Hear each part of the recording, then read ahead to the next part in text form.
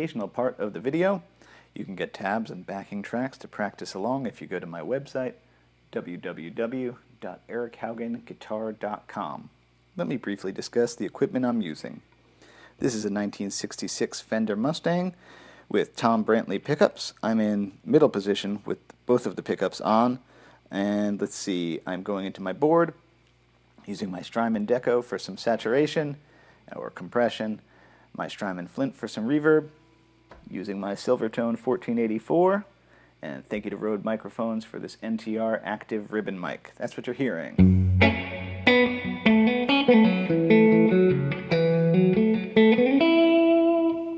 Uh, this is an exploration of Hendrixian double stop possibilities. I'm a big fan of this style of playing, and I want to kind of uh, get across the idea of like, hey, here's like how I view things and how I can like how I generate more licks out of one lick to kind of impregnate your mind with wonder.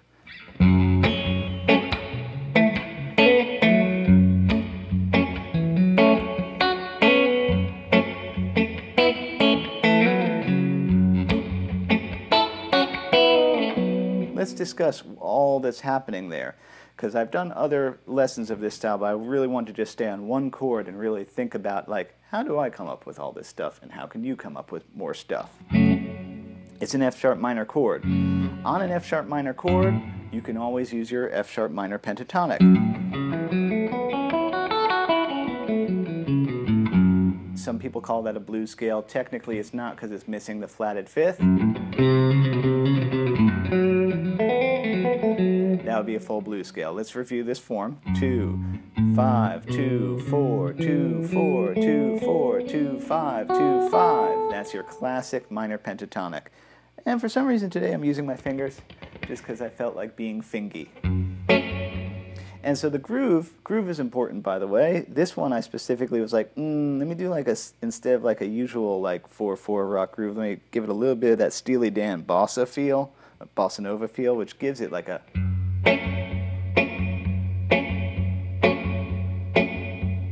just cause really. I was just like oh that'll be a different style. So I got my thumb wrapped around the bottom to get the two. Ring finger on the four of the D.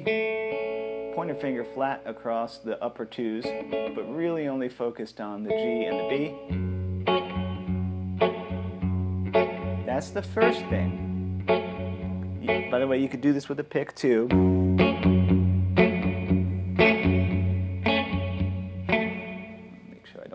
out my preamp.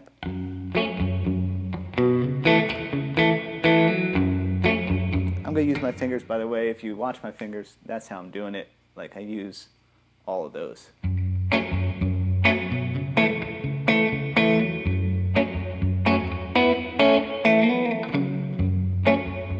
think I got that from, I got to take some lessons with the late, great Howard Morgan at some point in my life, and uh, yeah, he got me using all of my fingers for, for jazz type arrangements, but it works for all type of things, really.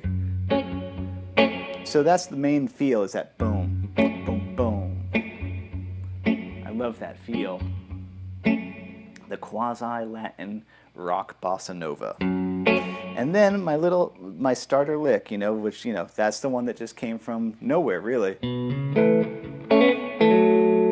that's hammering two on, on the A to four, two and two on the D and the G, and then a little, that's, that's two and two on the G and B.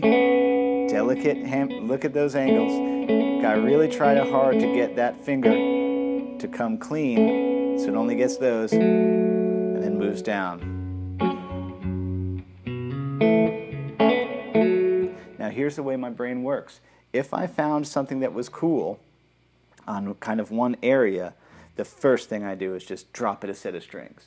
And, the, and when I drop it a set of strings, it's important to realize it still has to stay within the structure of the scale. I can't just carbon copy it over. I have to drop it and then maybe make an adjustment or two. Here's the adjustment. Makes for a different hammer-on system. So that was, now that hammer-on is starting on two of the D, uh, to, you know, and then So he's flat. The pinky now delicately hammers onto the five, and then two and two there, to the two and two to the, to the four there. So that whole system. Main lick, variation, one lick became a second lick. And then then third lick, I was like, okay, different different tack. I like the I like all the like all those parts of, of the scale, the kind of the, the double stops that exist, kind of clunk, clunk, clunk, clunk on top of each other. So that gave me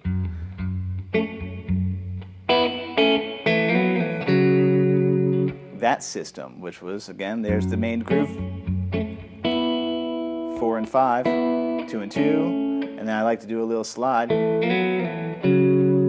Yeah, two up to four, and then four and four. And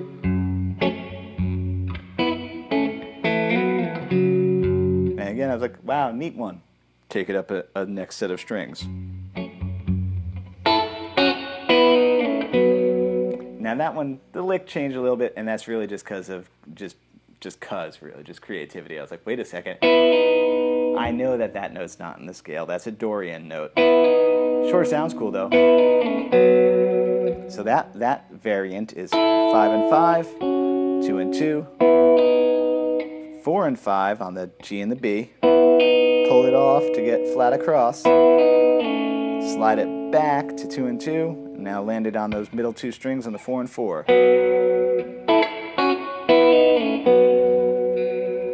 So that secondary system. I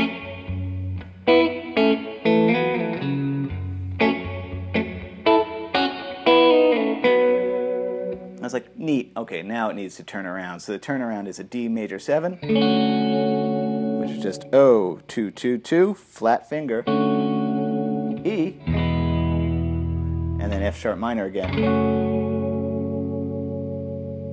Side note, if you have a Fender Mustang, the way to get these to stay in place, I literally tear up tiny scraps of paper and I jam them in before I put the bar in and then just kind of work the bar in and that's how I can get this bar to stay in its place. Yes, otherwise it will flop around all over the place. Pro tip. So on these, these chords, little fills, a little four, two, four, two, four. That's just playing around with the chord tones of that. I love to do to take put a, a six on an E, and when I say six, I mean E, F, G, A, B, C is the sixth note away. In the key of E, it's a C sharp. That's what I'm putting on. That's what I do there. So that little passage. And then, just for grins, I put a little blues run at the end. And that to me is like a Clapton run. Uh, that's from like early Clapton, the kind of that little thing at the end, the way it goes like that's straight like blues breaker stuff. So I do a little slide into the that too. So I'm back in my blues scale now. Five, two, five, two, five, four. Yeah. Yeah, when you get there's a quick pull off right there. Practice that. And then the last part is just a just four, two, four, four.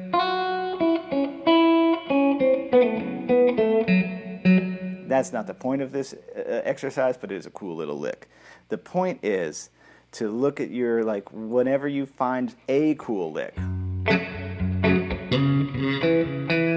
move it up. Move it up again.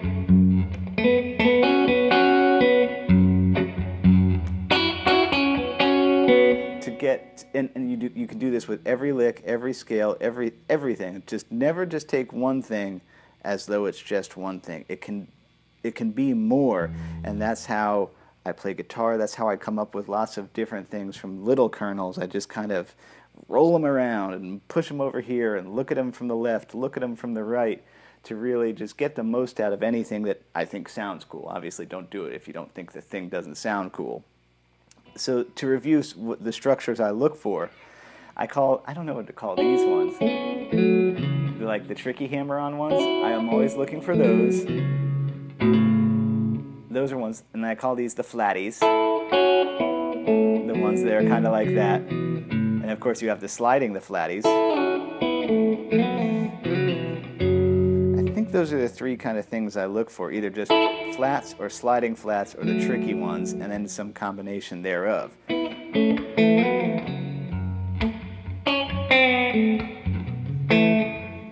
I hope that that is helpful for you. Take it, take it slow, make it groovy. Try one thing. If it sounds cool, take it over here, put it over there. Good luck with that, and thanks for watching.